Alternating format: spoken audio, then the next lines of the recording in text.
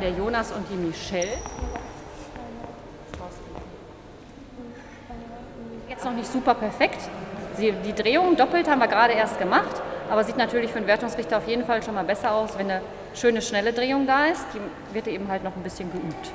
Okay, dann haben wir gesagt, ähm, ist natürlich auch wichtig, dass die Anfangspose entsprechend stimmt, dass man genügend Körperspannung gerade am Anfang hat, dass, die, dass das Paar sich entsprechend auch da schon vorstellt ich sag mal, bis in den kleinen Finger, bis in den kleinen Zeh. Und das machen mal eben Isabel und Lukas.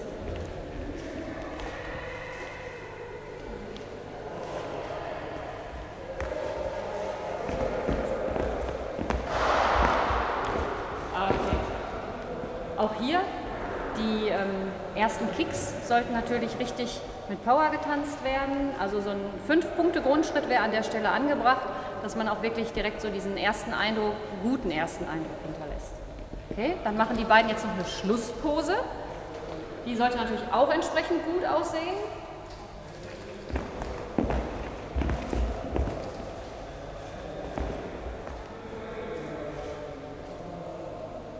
Genau.